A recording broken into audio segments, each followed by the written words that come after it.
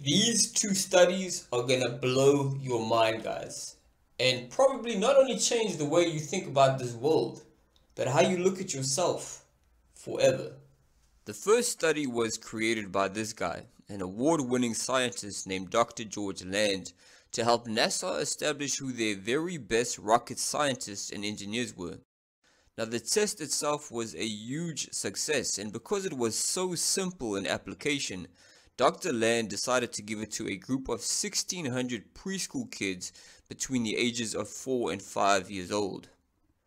What they found shocked them because 98% of all of the children scored at genius level. Now obviously fascinated by this, Dr. Land turned the one-time test into a longitude study which means you test the exact same group of kids again in the future to measure their progress. So fast forward 5 years later, by now the kids had already begun school, and a massive drop took place where only 30% of them managed to maintain their genius level of creativity. Fast forward another 5 years, by now in high school, and that figure dropped all the way to just 12%. Now, since that original study, Dr. Land and his team have tested more than 1 million adults, and just 2% of all of them scored at genius level. Now, to help you understand all of this a little bit better, allow me to explain the concept of the study, which is rooted in something called divergent thinking. Like the book slash movie Divergent, in which the lead character is an independent free thinker, divergent thinking is simply the ability to have an open mind that can creatively adapt and think beyond the rules and public perceptions that limit and control the rest of society.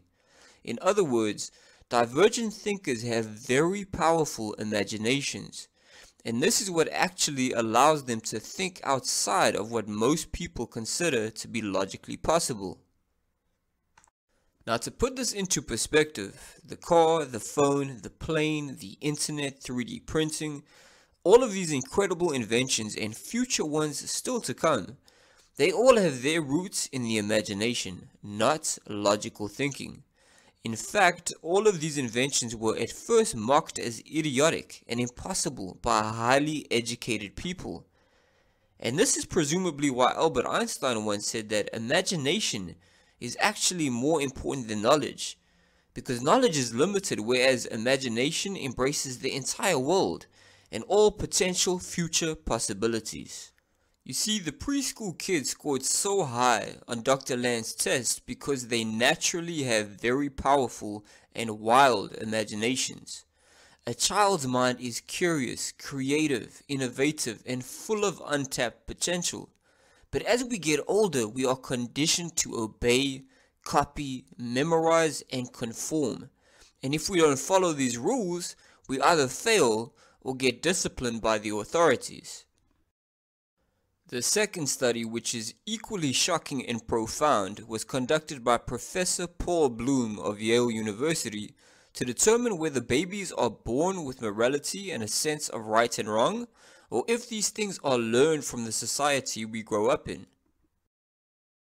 Through a series of award-winning studies on infants as young as just three months old, Professor Bloom not only convincingly established that babies are born with morality, but they even try to soothe the pain and suffering of others and have such a strong sense of fairness and justice that they will even punish cruelty whilst rewarding kindness. In other words, hatred, indifference, injustice, and exploitation are not natural to us, guys. They are learned.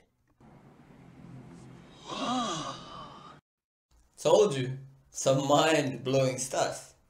But now considering everything I've shared with you thus far in this video, we have to seriously start questioning the society in which we live. Our world is dominated by exploitation, corruption, injustice, greed, and apathy, along with other things that clearly do not reflect our true human nature. And the reason for this is actually quite simple to understand, guys. This world does not reflect the nature of the majority of the people. It reflects the nature of a small minority of so-called elites. You see, in order for a few corrupt families, bankers, politicians, and other like-minded individuals to maintain their status quo of unending war, exploitation, and elitism, they have to replace our revolutionary nature with conformity, obedience, apathy, and ignorance. If they fail to do this, they obviously risk being overthrown. So to prevent this from taking place, they indoctrinate us, distract us, and divide us. They brainwash us to blindly obey authority through school, encourage consumerism and conformity through TV, plant fear and hatred through the news, inspire division and tribalism through politics, breed envy and materialism through celebrity culture, and create desperation and servitude through artificial scarcity. Basically anything they can to prevent us from waking up to who we really are and what our purpose for being alive really is. The only solution here, guys, is we need to take our own education and well-being into our own hands. Don't watch their television programming. Watch something educational and inspiring instead.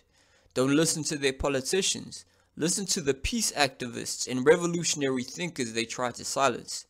Don't follow their circus show celebrities. Follow the people genuinely trying to empower you. Don't support their corrupt corporations. Support ethical companies trying to make this world a better place. In short, we must stop feeding this sick system through careless choices, guys. It only serves to distract us about what the greater purpose of life really is.